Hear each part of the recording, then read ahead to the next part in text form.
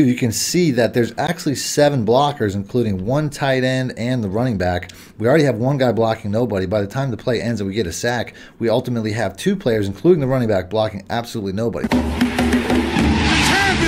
For the cheapest, fastest, most reliable MUT coins in the market, check out my coin sponsors at AOEAH.com and use discount code MONEY for 3% off. Link in the description below. Welcome back, Money Team. This is Madden Money Shot. Sniff the Man Cheese as always. Got a super glitchy blitz for you guys today, and I'm going to show it to you guys all in gameplay. This is the actual gameplay where I found this blitz.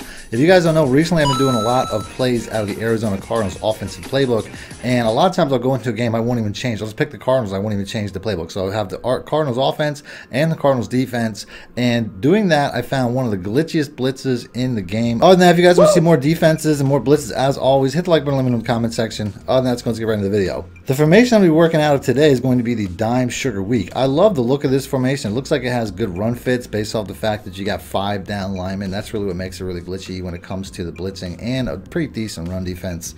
Other than that, you can use several different plays with the exact same concept. You can use the DB Blitz 1 if you like cover one man. You could also use the cover 3 sky. The setup's going to be the same throughout all these plays.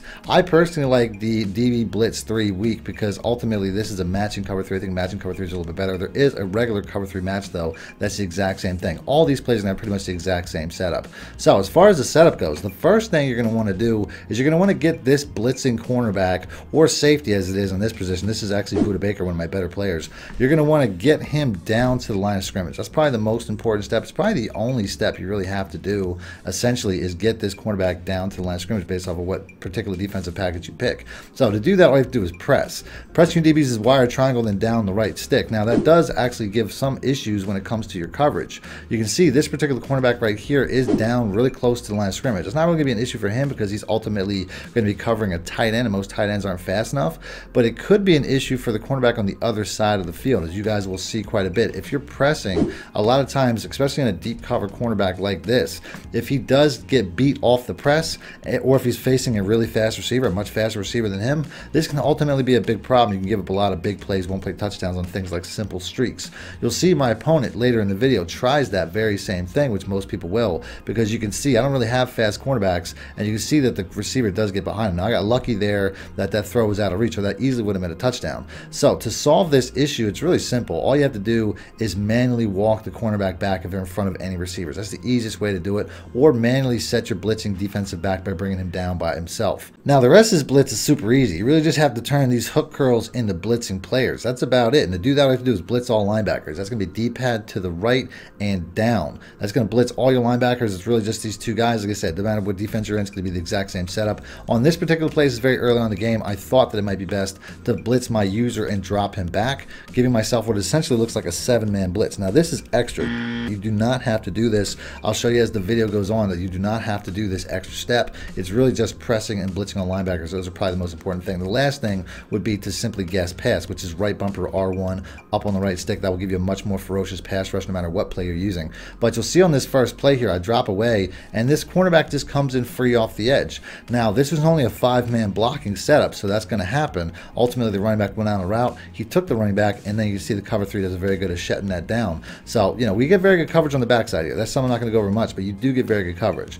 Now, as far as the next play goes, like I said, this is very early on in the game. I'm I didn't know that, that I saw the cornerback get in. I try a somewhat different play, and I'm going to be messing around doing a couple of different setups, trying to figure out how to get this blitz more consistently. Now, in this play, I messed it up because I actually moved the blitzing cornerback in. You can see I tried to get back in coverage, it really didn't work out, but ultimately I messed that entire play up by, by manually blitzing the cornerback, which is something typically I would not recommend doing. On the next play, he calls a hurry up, and you can see I get caught on the hard flat before I ever get to bring this user down to the box like I did previously. But it doesn't matter, as you can see on the very next play, we get an instant sack, even though the running back was blocking. Now Hurts gets out of it. He does. He is able to get the ball off, but you can see the blitz comes in free and hits the quarterback immediately. You can see on the play art in the very next play, this was a six-man block. Ultimately, it's also a six-man pressure. There's only six guys coming in on the blitz. So it's an even blitz, but we still get an instant sack as this guy just gets right around the running back who does not do a very good job of picking him up. So you can see this is a very quick blitz. I think this blitz works for two reasons. One, I think it works because of the angle that the cornerback is blitzing on, but I also think it works because of the angle that the defensive end and the defensive tackle next to him are taking. If you take a close-up look here, you can see that they're kind of stepping inside, which is what I think essentially gives the outside release to the blitzing safety every single time. This is the next play that I choose. You can see it doesn't quite have that exact same diagram, doesn't quite have the same combination of uh, the cornerback blitzing and the defensive lineman blitzing the same way that it does here. So I would just stick to the four plays that I showed you guys previously. Now, there also is an additional setup. You can only send five men and still have a lot of success. These two players here, I found later in the game, you could use either one of these two players and you'll still have a lot of success. I typically decided to use Simmons just because it was faster, but all you really have to do is use one of these players, press and then disengage back into coverage, just like I did here. You can see Landon Dickerson is blocking absolutely nobody. If we take a wider angle view, you can see that there's actually seven blockers, including one tight end and the running back. We already have one guy blocking nobody. By the time the play ends and we get a sack, we ultimately have two players, including the running back, blocking absolutely nobody. So we had a five-man pressure on seven blockers, and we still got through to get the sack. Now, while mostly the design pressure will come from the cornerback slash blitzing safety, you'll notice that you get pressure from a lot of different areas. This package is so much speed on the field, and it really creates so much havoc a lot of times you'll get pressure from the opposite defensive end. A lot of times you'll get pressure from the defensive lineman in front of you. As you can see, when this play ends, there was four defensive linemen around the quarterback, meaning that really this guy has no chance to throw the ball. It's a very glitchy blitz when it comes to how these things create pressure. There are a few downsides, though, as you can see, based on the fact that we have so many blitzing guys coming over the middle. There's not a lot of guys left to take away short throws. So ultimately, short throws will beat this defense pretty easily. Uh, you really have to be Johnny on the spot when it comes to that, but that's something that you really can control based off of the fact that you're typically going to be using right over the middle. So you just really have to make sure that you get back and take away these short routes as quickly as possible. As you can see right here, based off the fact that my opponent, since I know he has to throw the ball quickly, I know that the center of the field is typically what he expects to be open, it's going to be easy to diagnose where he's going to go with the ball, and it's going to result in a lot of interceptions and turnovers. In fact, this is really by design. Based off the fact that we get such instant pressure, it really becomes easy to diagnose where the ball is going to go because your opponent has to get rid of it quickly. If you can really just drop back on a lot of these routes and cut them off quickly, you're going to get a lot of takeaways. Another way to handle these quick throws can be switching over to the DB Blitz 1, which is essentially going to cover one man. Pre-snap, it looks just like a cover 3 shell. You have your single high safety. Your opponent won't really know what's coming. But ultimately, if they try to hit those same quick throws that they were hitting most of the game based off the fact that typically zones don't drop back the way the man coverage does, they'll be throwing a lot of interceptions as well there. So make sure that you're Johnny on the spot, switching in and out of these defenses every once in a while just to keep your opponent guessing, and you'll get a lot of interceptions that way as well.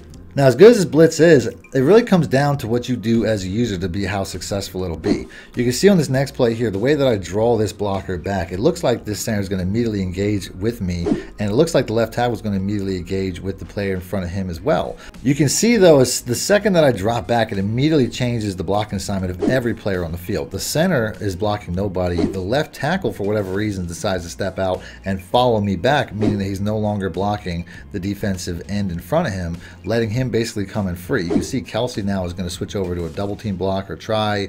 The running back is essentially going to be tasked with switching over and taking out the free defender coming in which he does. But meanwhile, the left tackle's blocking nobody, and essentially the center's blocking nobody.